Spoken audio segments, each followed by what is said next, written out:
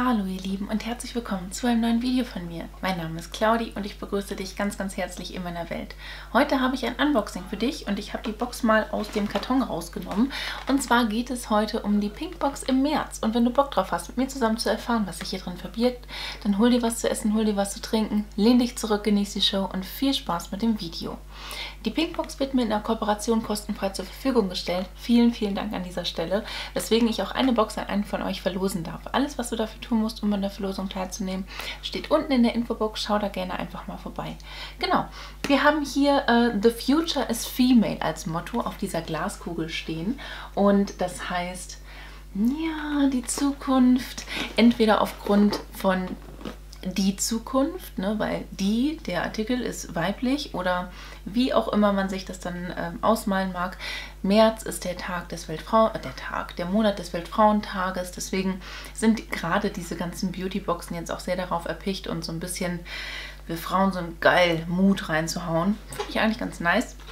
Wir hatten auch hier so einen äh, Flyer mit drin, Augen auf, es haben nicht alle Produkte in die Box gepasst, denn wir haben hier auch immer das gleiche Format, ne? immer die gleiche Größe und wenn dann von den fünf Beauty-Produkten, die normalerweise enthalten sind in der Beauty-Box, die monatlich erscheint und ab 13,45 Euro kostet, ähm, dann irgendwas, ne, wenn da so ein großes Ding mit dabei ist, wie zum Beispiel diese Ebelin äh, Haarbürste, dann passt die halt nicht mehr mit rein. Ne? Genau, das ist eine Haarbürste, die ist vegan, das ist eine Pflegebürste, ultimativer Glanz, optimale Pflege und 100% vegan. Ich wusste gar nicht, dass ähm, Ebelin auch so in diese Richtung äh, Produkte im Sortiment hat. Finde ich ganz nice. Die hat hier so Noppen vorne dran. Na, das ist ne, ein bisschen für die Kopfhaut zur Massage einerseits, andererseits, äh, damit es nicht so piekst. Das finde ich eigentlich ganz gut. Meine sehr langen, sehr fisseligen Haare ver, ähm, ja, hm, verwurzeln sich da oft drin. Ich habe tatsächlich auch mal eine äh, Haarbürste in, in einem Tauschpaket gehabt, die ich richtig, richtig gerne mag. Ähm, die Wet Brush oder so ist das. Die hat vorne gar nichts dran. Ne? Die habe ich richtig gerne, die mag ich gerne, die verwende ich auch gerne. Und ähm, genau. Habe ich von Zara nämlich geschenkt gekriegt in dem Tausch-Adventskalender tatsächlich. Ähm, hier haben wir auch ähm, Kunststoff des Bürstenkörpers aus nachwachsendem Rohstoff. Das finde ich auch ganz cool. Ne? Also hier schon das erste Produkt aus der Box. Und es ist auf jeden Fall mit einem Silika-Beutelchen äh, bestückt. Nein, ähm, es ist auf jeden Fall ein cooles Produkt, weil Haarprodukte, finde ich, haben wir gar nicht so häufig in den Beauty-Boxen drin. Ne? Ich lasse mal ein bisschen weiter nach hinten, dann seht ihr die Produkte, die in der Box drin waren, nämlich auch noch ein bisschen besser. Wir haben hier auch noch so Gutscheinhefte, Rabattcodes und das finde ich jetzt total witzig, weil das ist jetzt mal eine ganz andere Zeitschrift, die hier mit bei ist. Denn wir haben in diesem Umkarton nämlich die Box mit drin und dann meistens halt eigentlich so eine Couch oder so, so eine kleine Zeitschrift. Dieses Mal haben wir einfach genial abnehmen mit Brot und Kuchen ähm, von, also das ist die zweite Ausgabe von 2021, kostet normalerweise 4,90 Euro. Das scheint so eine Kochzeitschrift zu sein, ne? Und sowas mag ich. Also das mag ich richtig gerne. Kann man sich so ein bisschen Inspiration holen. Hier sind Rezepte drin, Food-Inspos und so. Das finde ich cool. Die besten Lebensmittel für Kinder. Ne? Kann man gut gebrauchen. Doch, mag ich. So, Rampampam. Fülülü, öffnen wir den Deckel, also nehmen wir den Deckel ab. In dem Deckel steht immer drin, du bist schön und das ist eine wirklich, wirklich schöne Geschichte. Das mag ich immer gerne und das ist immer noch super schwer und hier werden wahrscheinlich auch nur noch vier Produkte drin sein, weil eins liegt da vorne ja schon. Wir haben ein Seidenpapier, was zugeklebt ist mit einem Klebi und zusammengehalten wird mit einem rosa Schleifchen. Und wir haben keinen Duft. Na gut, dann nicht. Dann mache ich jetzt mal so ein bisschen vorsichtig auf. Das hat ja nicht so gut funktioniert. Hm. genau. Und äh, hier haben wir dann einmal das Heftchen, wo drin steht, was drin ist. Und den ersten Blick in die Box. Und hier sehen wir schon, ne? Das ist schon, schon gut gefüllt. Also das sieht hier nach, das sieht fast nur nach Full Size aus. Also wir haben von My New Hair Balance Everyday Shampoo, Haar- und Kopfhaut. Das finde ich gut. Ich habe eine sehr empfindliche Kopfhaut aktuell. Kommt mir das echt gelegen. Für normales bis schnell fettendes Haar ähm, mit Bambuskohle, Pflanzenextrakten und Präbiotika. 300 Milliliter sind hier enthalten. Du hast hier keine Silikone mit dabei, keine ähm, Sulfatenside. Inhaltsstoffe tierischen Ursprungs sind auch nicht mit drin. Also das ist vegan, steht ja auch vorne drauf. Sind keine synthetische Färbemittel. Finde ich nett. Ne? Also das kommt aus Bulgarien, die Marke. Die sagt mir auch was. Die hatte ich, glaube ich, auch schon mal in den Händen. Ich glaube, da hatte ich ein Haarstyling-Produkt oder sowas von drin. Das ist auch ein ganz interessanter Deckel, ne? so ein kleiner Metalldeckel. Und das riecht wie ein Produkt aus dem Friseurbedarf. Also das passt auf jeden Fall zu dem Shampoo schon mal. Ach Quatsch, zu dem Shampoo vor allem, ne? zu der Bürste. Ich bin trotzdem aber gespannt, was ähm, die Boxenpacker sich beim Packen der Box gedacht haben. Was kostet so ein Ding? 5,99 Euro, das geht voll klar, ne? Hallo Pink Lady, damit sind wir immer gemeint. Was die Zukunft bringt, kann keiner so genau sagen. Du möchtest trotzdem wissen, was wir in unserer Glaskugel sehen. Starke Frauen, die keine Angst davor haben, sich durchzusetzen und ihre Träume zu verwirklichen. Die sich trauen, etwas Neues zu erschaffen, die zusammenhalten, füreinander einstehen und die Welt zu einem besseren Ort machen. Wir sind uns sicher, the future is female. Ja gut, starke Frauen, ne? Kannst du nie genug von haben, meiner Meinung nach. Solange es keine Zicken sind, es sind starke Frauen schon mal ganz toll. Ähm, übrigens, wenn ich an, an, so, an so dieses Sinnbild einer starken Frau de denke, ne, also wenn ich das so in den Kopf reinkriege, dann denke ich zum Beispiel an Frauen wie Frankas Favorites, das ist für mich eine starke Frau. Contra Junkie ist für mich auch eine super starke Frau. Tam Tam, Tara, ne, die ist auch eine super, super starke Frau. Also das wären so auf YouTube die starken Frauen, die mir so direkt in den Sinn kommen würden. Ich bin keine starke Frau, Leute. Das mag hier vielleicht so rüberkommen. Ich bin aber keine. Ich bin vielleicht schlau und ich mache meinen Kram ganz gut, aber ich bin nicht so stark. Ähm, mit dieser Pinkbox im Special Design möchten wir dein Selbstbewusstsein stärken und dich ermutigen, deine Weiblichkeit zu unterstreichen. Ist da was für die Huppies drin? Dann können die nach meiner Weiblichkeit mal ein bisschen suchen. Wir wünschen dir viel Spaß beim Testen der Produkte, dein Pinkbox-Team. PS, am 8. März ist Frauentag, lass dich gebührend feiern. Am 8. März hat meine Stiefmama in Spee Geburtstag und die wird dann immer gefeiert. Ja, ne? Genau. Äh, genau, genau, genau.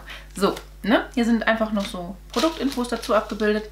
Und jetzt kommen wir zu den drei anderen Produkten. Eins, was halt richtig groß ist, ist hier ein, ein, ein, ne? Ist das ein Deo, ja. Von S. Oliver So Pure Deodorant äh, Natural Spray Vaporisateur 75 Milliliter. Das ist cool, oder? Und das ist eine Glasflasche. Ich dachte erst, es wäre ein Parfum. Aber das ist ein Deo. Das ist nice. Also edles, edles Deo. Wirklich. Warum? Warum? Kann auch so machen, ne? Das riecht wirklich nach dem Parfum tatsächlich. Läuft bei mir, ne? Aber wenn schon, denn schon. Kein Produkt verschwenden hier. Ne, das mag ich wirklich. Fühlt sich sehr frisch an. Ich mag das auch gerne, wenn du halt Deos in äh, diesen Glasflaschen drin hast. Ich finde es nachhaltiger, als wenn man das in Plastikflaschen oder in ähm, Aluminium-Spray-Flaschen drin hast. Ne? Das ist einfach besser produziert, meiner Meinung nach einfach. Und deswegen finde ich es cool und das kommt jetzt auch in meine Anwendung. Ich hoffe auch, dass es wirklich genauso gut schützt, wie es riecht. Ne? So, jetzt haben wir was für die Haare doppelt und wir haben was für Spray Deo. Und das hier ist jetzt Aloe Vera von Ensporn Premium Gel, 90% reine Aloe Vera, spendet intensiv Feuchtigkeit. Sowas kannst du für den ganzen Körper nehmen. Wohltuend bei gereizter Haut, nach der Rasur und dem Sonnenbrand. Also jetzt mal ohne Witz, ne? Aloe Vera Gel ist auch ein Allrounder. Ob du das jetzt nach dem Sonnenbrand dir aufgibst, ob du dir das nach dem Rasieren aufgibst, ob du dir das einfach auf furchtbar trockene Haut aufgibst, das hilft voll. Und ähm, das scheint mir auch irgendwie sowas sein, was man auch in der Apotheke kaufen könnte. Äh, Kompetenz dermatologisch getestet für die Haut. Ja, läuft, ne? Das ist, das ist nett. 90% ist auch nicht wenig. Ich weiß, dass viele sich auch extra so ein Aloe Vera Gel holen. Man kann das sogar für, also du kannst Aloe Vera auch überall mit reinmischen. Und es riecht auch gut. Ich mag Aloe Vera vom Duft her gerne. Wir hatten eine Aloe Vera bei uns stehen. Sie war wunderschön. Aber sie ist zu groß geworden, dann habe ich sie umgetopft und dann habe ich sie nach draußen gestellt und dann kam der Winter und jetzt ist sie leider hin. Ach, gut, ne? Schön frisch. Jetzt hatten wir eine Aloe Vera, aber ist nicht schlimm. Bei uns wächst und gedeiht halt alles hier im Haus so wie bekloppt, ne? Die werden einfach viel zu groß, die Pflanzen. Jetzt habe ich hier das letzte Produkt mit drin und das ist ein dekoratives Kosmetikprodukt und zwar von Love Matte Devotion Non-Transfer Liquid Lipstick in der Farbe 750 Unconditional. Das ist dieser hier. Der kommt in meinen Full Face Beauty Boxen mit rein. Ich bin eigentlich kein Fan von ähm, Liquid Lipsticks oder von matten Lippenprodukten. Sieht man bei mir halt auch sehr, sehr selten. Ich habe halt eher so ein glossy Gedönsen drauf oder so, ne? Ja, aber das ist eine schöne Farbe. Es ist eine tragbare Farbe. Und diese Farbe ist halt auch ähnlich wie der Gloss, den ich aktuell drauf habe. Das ist von Avon irgendwie so ein Gedönsen, was ich hier drauf habe, ne? War auch meiner Beautybox drin, weil der halt auch so einen Graustich mit drin hat. Und wenn Lippenprodukte so einen Graustich oder einen bläulichen Stich mit drin haben, erscheinen die Zähne immer ein bisschen weißer, ein bisschen heller. Ne? So ein kleiner Trick. Und deswegen finde ich das eigentlich ganz nice und den, den, werde ich mit austesten. Ich sammle ja immer die Produkte aus den ganzen Beautyboxen, die bei mir so einziehen. Und am Ende des Monats drehe ich dann Schminki dazu. Jetzt Justmin, gerade habe ich das erst für Februar abdrehen können, weil noch nicht alle Boxen bei mir da waren. Ne? Deswegen hat es ein bisschen gedauert. Aber jetzt habe ich hier gerade die ähm, Märzbox, Pinkbox mir angeschaut und ich muss sagen, sie hat mir gefallen. Also war Wavavum-Produkt hier mit dabei? Schon. Also für mich persönlich ist das Wavavum-Produkt das Deo. Tatsächlich. Ne? So simpel so ein Produkt auch sein mag. Ähm, für andere ist es das Haarprodukt oder eins der beiden Haarprodukte. Für noch eine andere ist es wahrscheinlich das dekorative Kosmetikprodukt. Ähm, ja, solche Beautyboxen sind ja auch immer so ein kleines Glücksspiel. Ich finde es aber immer ganz nice, mich jeden Monat überraschen zu lassen und zu schauen, was die Boxenpacker sich dabei gedacht haben, als sie so eine Box gepackt haben. Das Motto finde ich passend. Die Produkte finde ich auch wo passend für das Motto. Ne? Also schon, ja, starke Frauenmotto ist, habe ich schon bei anderen Unboxings gesagt, ist super schwer umzusetzen. Wie willst du das umsetzen? Kannst du mit, mit Pflegeprodukten machen, kannst die Haare stärken, du kannst ähm, alles stärken. Du kannst den, den Duft schön machen, ne? Aber ähm, schwieriges Motto. Ich finde aber trotzdem, dass die Box cool ist und für 13,45 äh, lohnt sie sich auf jeden Fall, denn wir haben hier coole Produkte drin, die einfach Freude machen. Und ich werde, ich glaube sogar wirklich alles davon behalten. Das passiert nicht häufig. Aber ja, ich finde sie alle brauchbar. Und wenn ihr dieses Video brauchbar fandet, nein, wenn euch das Video gefallen hat, dann lasst mir doch sehr, sehr gerne einen Daumen nach oben da. Würde ich mich mega drüber freuen. Ansonsten wünsche ich dir einen wunderschönen Tag, einen wunderschönen Abend. Lass es dir ganz einfach gut gehen. Fühl dich ganz doll gedrückt von mir. Ich verlinke dir mal hier oben meine Playlist mit den ganzen Unboxings meiner Abo-Boxen. Hier unten meinen neuesten Upload. Auf dieser Seite noch ein Video von mir. Und hier oben kannst du, wenn du möchtest und es vielleicht noch nicht getan hast, mich sehr, sehr gerne einmal kostenlos abonnieren. Ich würde mich echt von Herzen drüber freuen. Lass es dir gut gehen und hoffentlich bis zum nächsten Mal. Ciao!